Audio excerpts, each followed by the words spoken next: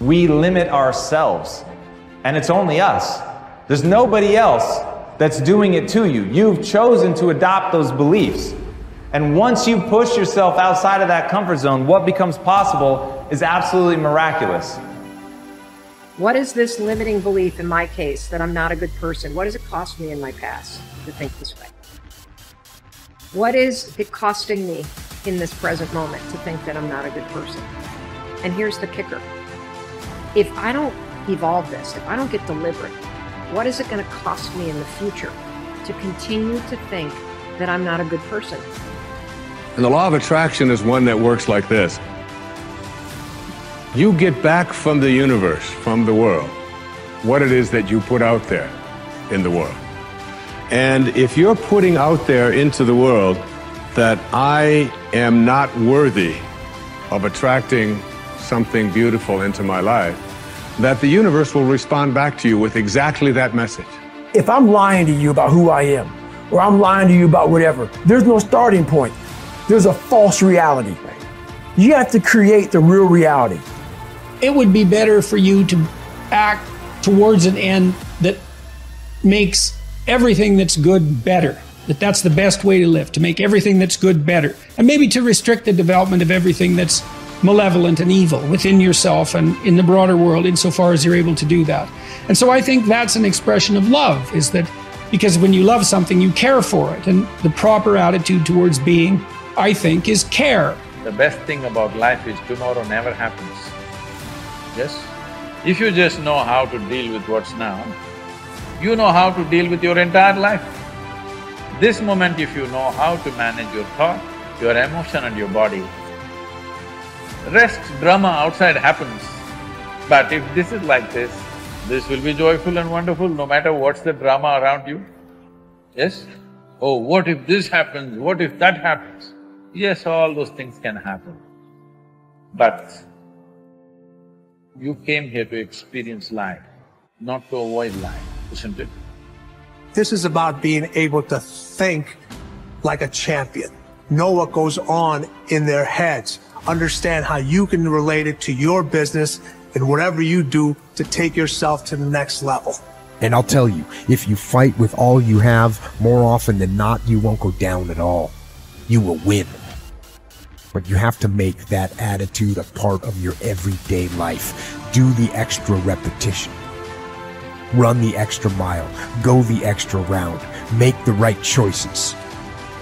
Give the full measure make yourself stronger. Every day, comfort you versus growth you are in a fight. There's a war going on inside you. Comfort you versus growth you. Every day, there's a fight, there's a battle, there's a war going on.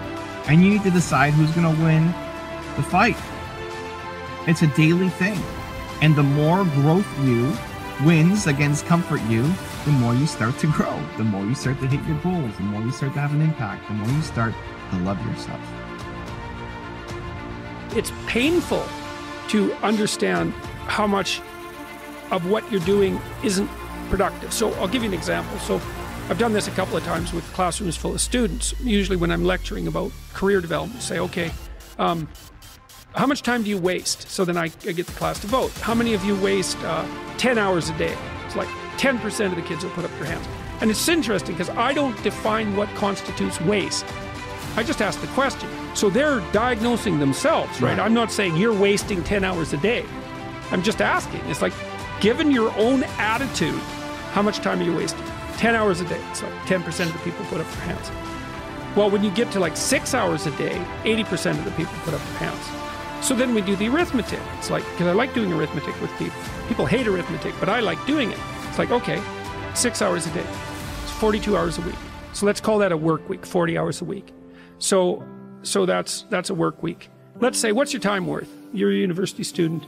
Well, it's certainly worth minimum wage, because obviously, but it's worth way more than that because if you spend a productive hour when you're 20, then you gain the benefits of that hour for the rest of your life. So there's the compounding effect of time spent when we were young. So I say, well, let's assume your time's worth 50 bucks an hour, which I think is an underestimate, but whatever. Let's call it 50. We can call it 25, but we'll call it 50. That's $2,000 a week you're wasting. It's $100,000 a year. It's like, how much better would your life be if you weren't wasting $100,000 a year? It's like, what is that over 40 years? $4 million. It's like, you're rich. You don't even know it. Quit wasting time. By your own definition. It's like people shake their heads. Well, I never thought about it that way. It's like, yeah, think about it that way. Don't waste your damn life. I know I'm, I, I'm a weak man. I know that I have sinned. I know that I am not perfect. But if I could have a person who's so much wiser than me, if I could look out into the future and my highest, best, strongest, happiest, boldest self could step into the situation, how would my better self advise me now? And you'll always find that your better self will say, calm down. It's not that big of a deal in the bigger picture. You're stronger than you know. Believe in your ability to figure this out. Take a breath. Take a couple breaths. Know that you could make the situation awful and make yourself feel bad. But that's your choice. Your highest self would tell you, you know what? Handle this well so you can respect yourself later. Your best self would say, handle yourself well now, just to prove that you can. Your best self would say, you know what? If you handle yourself now, you have fewer regrets later. Your best self would say, you know what? Instead of being angry, try to be compassionate. Because from compassion and love comes a greater power to influence than you'll ever have as an angry little child. Oof, your older self, they'd, they'd tell you, they'd learn you, they'd give you the messages that you needed to hear. What would you do as your highest self?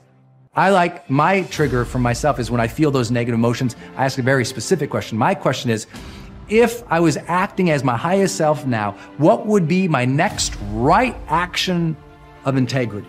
Coming from a place where I want to be happy as a human being, how would I reply to this? And that changes the game. The questions we ask ourselves in moments of conflict dictate the answers and the way in which we behave. And so I say to you, take a beat, ask the questions, wonder why you're so upset, and let it go.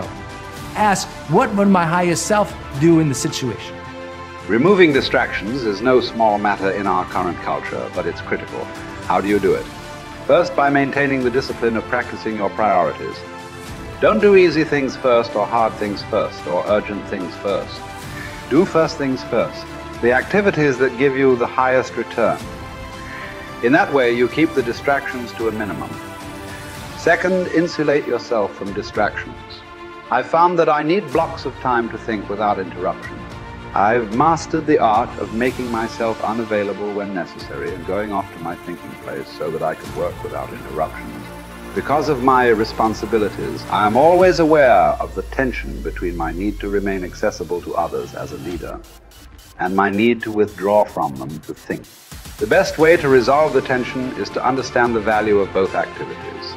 Walking slowly through the crowd allows me to connect with people and know their needs. Withdrawing from the crowd allows me to think of ways to add value to them. My advice to you is to place value on and give attention to both. If you naturally withdraw, then make sure to get out among people more often. If you're always on the go and rarely withdraw for thinking time, then remove yourself periodically so that you can unleash the potential of focused thinking. And wherever you are, be there. Once you have a place to think, you need the time to think. Because of the fast pace of our culture, people tend to multitask. But that's not always a good idea. Switching from task to task can cost you up to 40% efficiency.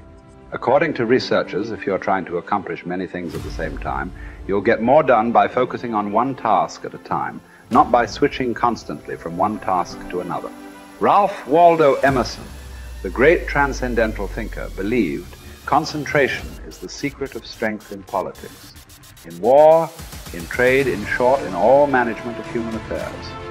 To help me concentrate on the things that matter, I work to keep important items before me.